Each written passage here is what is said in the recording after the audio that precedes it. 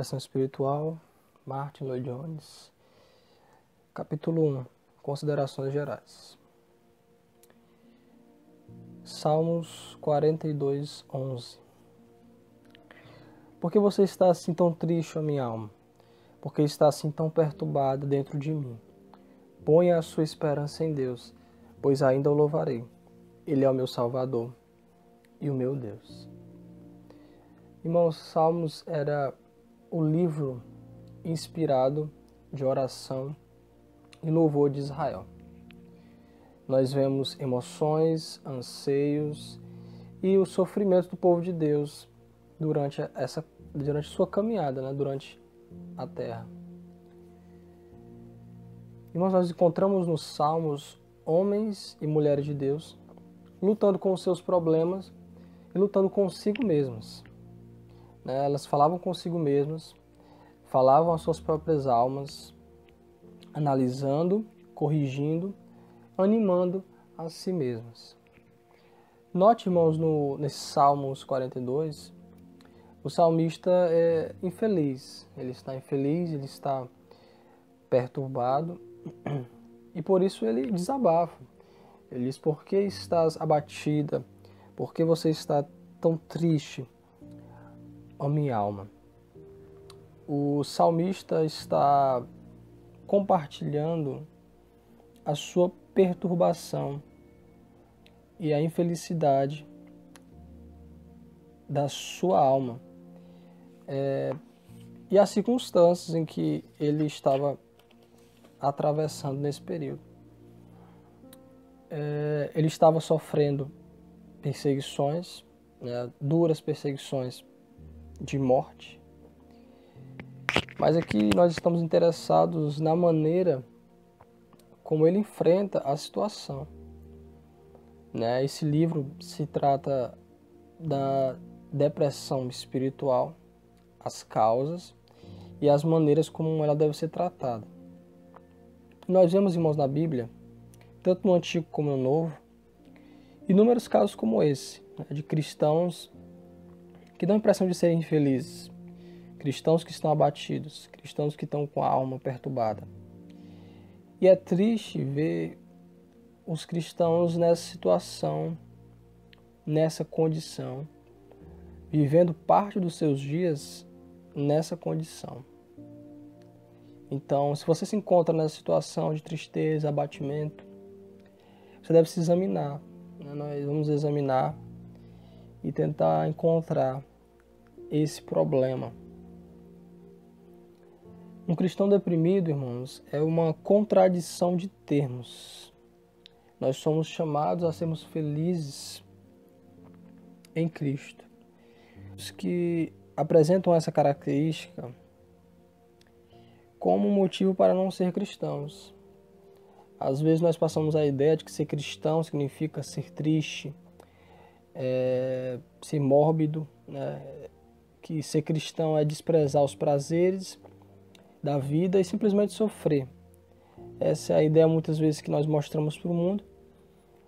E de alguma forma isso impede que muitos ingressem no reino por conta disso, nos veem como pessoas tristes, deprimidas. E essa é uma ideia que nós não devemos passar. Eles olham para nós e nos comparam com as pessoas do mundo. Né? Então, por exemplo, eles veem torcedores gritando, vibrando, com entusiasmo pelo seu time. Eles veem as pessoas comentando sobre filmes, sobre internet, com alegria, com entusiasmo. E aí, em contraste, muitos cristãos parecem com aparência de infelicidade. Né? Isso é algo ruim, isso afasta muitos, muitas pessoas do Evangelho. Na verdade, o cristão deveria viver de tal forma que as pessoas eh, dissessem assim: como eu queria ser assim como eu queria ser como esse cristão. Porém, se vivermos em depressão, isso jamais nos acontecerá. Então, mas nesse primeiro capítulo nós veremos é, algumas considerações gerais sobre essa questão e nos próximos a gente vai detalhar um pouco sobre as causas e os tratamentos para a depressão espiritual. Vamos aqui examinar o texto é, ao lermos, você vai logo perceber que realmente tratava-se de uma depressão espiritual. Quando nós lemos é, no versículo 11, ele diz assim, na versão corrigida: Por que está batido a minha alma e por que te perturbas dentro de mim? Espera em Deus, pois ainda o louvarei, o qual é a salvação da minha face e o meu Deus. É interessante, mas nessa versão ele diz a salvação da minha face.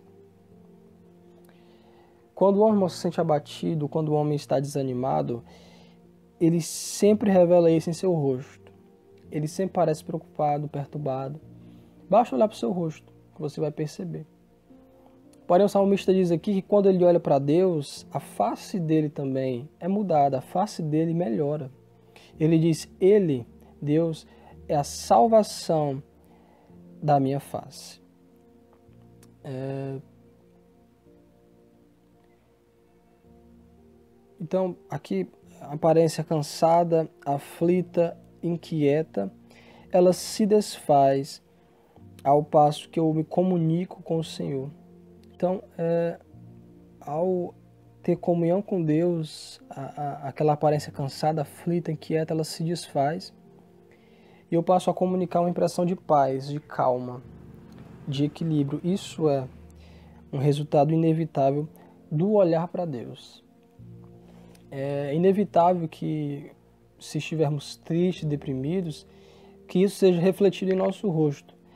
Mas também é, é, é é inevitável que quando eu tenho um relacionamento com o Senhor, que essa graça, que essa paz e essa alegria também vai se revelar em nossos rostos. Não é necessário forçar alegria ou paz. Isso é algo natural desse relacionamento com Deus. Continuando aqui no texto, irmãos, no versículo 3, ele diz assim: As minhas lágrimas têm sido o meu alimento de dia e de noite. Perceba, irmãos, ele chora, ele está numa situação de terror, numa situação de medo. Ele está preocupado consigo mesmo. Tudo parece é, é, estar o esmagando, parece haver um peso. E ele não consegue controlar as suas emoções. Ele chega ao ponto de perder o apetite. Ele diz que as suas lágrimas têm sido o seu alimento. Normalmente a ansiedade e a depressão causam perda de apetite. É comum. É, e é, era exatamente o que estava acontecendo aqui com o salmista. Analisando isso, irmãos, eu quero aqui mencionar algumas causas gerais de depressão espiritual. Em primeiro lugar, eu quero colocar o temperamento primeiro lugar, o temperamento. É, é um fato, irmãos, que as pessoas elas são diferentes. Nós possuímos temperamentos, personalidades diferentes. Não estou dizendo que a salvação depende do nosso temperamento. A salvação é mediante a fé, ela é pela, pela graça, mas o temperamento ela, ele faz uma diferença enorme nas nossas experiências da nossa vida cristã. Né? Então, é, tratando-se de depressão espiritual, esse é o primeiro ponto em que nós temos é, que observar. Né? Então, não há nada mais importante quanto a necessidade de nos conhecermos a nós mesmos, né? Isso o quanto antes. Nós somos um corpo, não somos só corpo, né? Porém somos mente né? e espírito. Então, cada crente ele é diferente um do outro. É, dependendo da nossa personalidade, nós teremos problemas, teremos tribulações distintas é, uns dos outros. Então, é um ponto importante nós sabemos isso. Nós somos diferentes uns dos outros, nós somos distintos. Então, devemos sempre é, combater a ideia de estabelecer uma lei é, que generaliza e universaliza é, é, para todos uma mesma solução. Não tem como. Cada caso é um caso. Cada pessoa tem sua singularidade, seus temperamentos, então não tem como eu estabelecer uma lei, uma regra de cura para todos. Né? Tem que analisar cada caso. Então vamos de modo geral analisar. E é óbvio que eu poderia dividir os seres humanos em dois grupos. É, primeiro os introvertidos e o segundo os extrovertidos. Então há um tipo de pessoa que sempre está voltada para dentro de si, que são os introvertidos, e o outro tipo é aqueles que estão em geral voltados para fora. Então é importante, que compreendamos que o problema de depressão espiritual tende a afetar em larga escala o, o primeiro grupo. Né? Por isso nós precisamos nos conhecer e nos entender. Então, os introvertidos não que sejam mais fracos, né? porém são mais vulneráveis a esse tipo de depressão espiritual. Então, existem pessoas que estão sempre em autoanálise, sempre se preocupando com os possíveis efeitos de todas as suas ações sempre olhando para trás, né, sempre cheio de remorsos. Então isso é um perigo que afeta até mesmo a sua vida espiritual. E se não tiverem cuidado, pode se tornar pessoas mórbidas, né, pessoas tristes, cabisbaixas. Estão sempre, é, então, antes de tudo, precisamos nos conhecer, né, precisamos é, saber onde estão nossas fraquezas, saber o que é perigoso para nós, quais nossos pontos de vulnerabilidade, nos conhecer, para então poder é, entender e saber onde está o problema. E a Bíblia, irmãos, ela, ela nos ordena isso, nos conhecermos, entendermos os nossos pontos fracos e fortes. Veja só Moisés. Moisés era o homem mais manso da terra. Mas, segundo a Bíblia, o seu fracasso teve ligação direta com o seu ponto forte, mansidão. Então nós temos que estar atentos não só às nossas fraquezas, mas também às nossas forças, onde, onde nós somos mais fortes, que o diabo pode nos tentar aí também. Então, de acordo com a sua personalidade, você precisa buscar esse equilíbrio, precisa se conhecer o suficiente. Né? É, grandes homens e irmãos de Deus é, sofreram de depressão espiritual e falharam de alguma forma nesse aspecto aqui, de não se examinarem, de não se conhecerem e acabaram sofrendo bastante com depressão espiritual. Né? Por exemplo, Jeremias, Paulo, Lutero, Moisés, né? Elias, homens tais, homens de Deus, mas que sofreram de depressão espiritual. É, eu queria agora uma segunda causa possível de uma depressão espiritual, que são as condições físicas. A condição física influencia muito nessa questão. Né? E existem muitas condições físicas que tendem a, causar depressão. Então, olha, irmãos, Charles Spurgeon, né, um dos maiores pregadores é, que já existiram, ele sofria, ele estava sujeito à depressão espiritual. Isso porque ele sofria de gota, e que foi exatamente a doença que ocasionou a sua morte.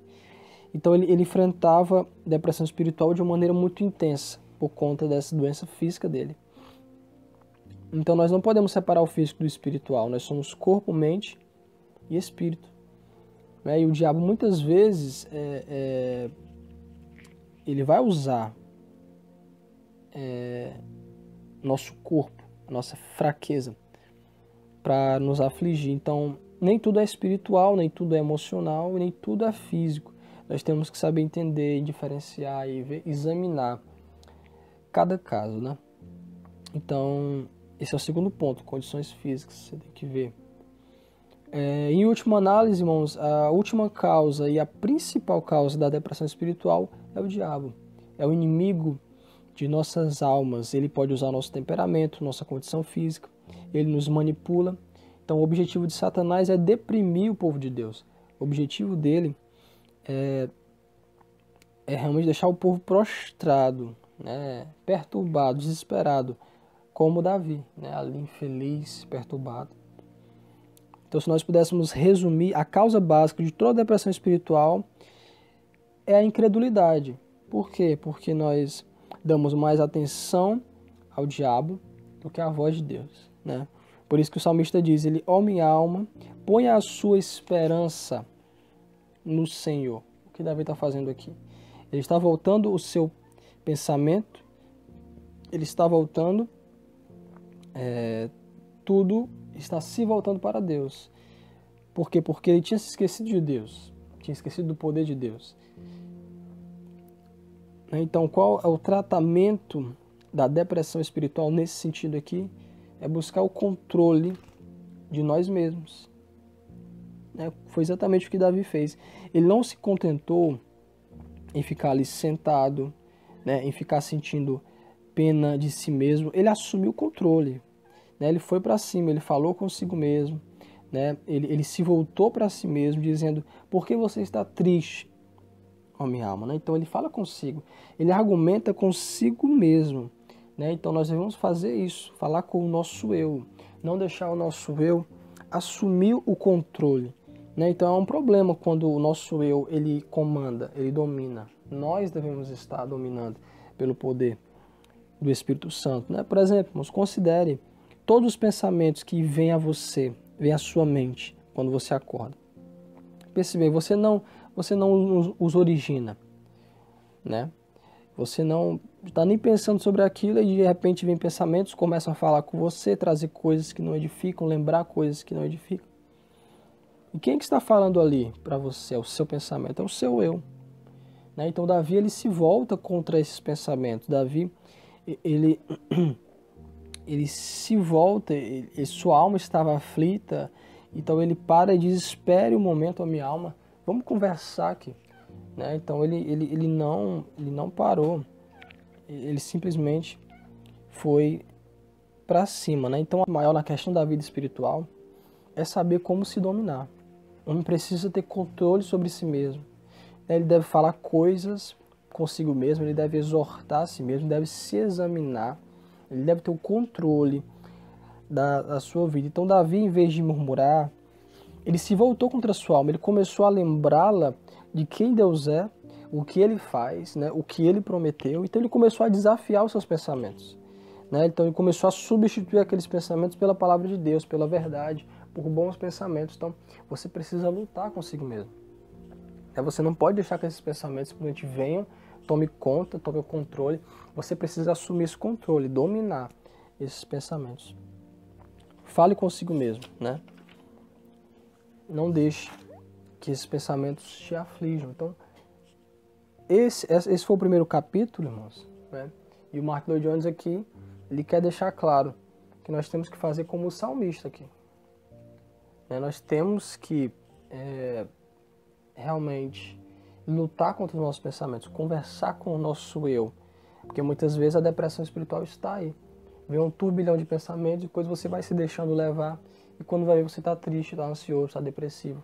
Então, quanto antes você reagir, né, lutar contra tais pensamentos, né, realmente conversar com eles, porque está batido a minha alma, é, espera em Deus, pois ainda o louvarei. Então, você vai combatendo, você vai em busca de vencer isso. Então, esse é o primeiro capítulo, amém? É, Deus abençoe a todos.